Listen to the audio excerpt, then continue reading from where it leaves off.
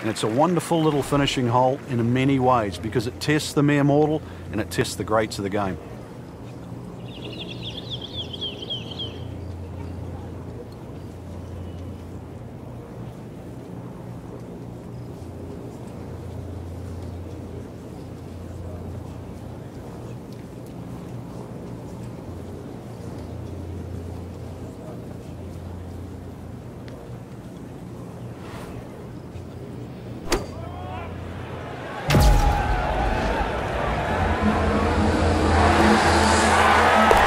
Without a doubt, that will be on the highlight reel later tonight.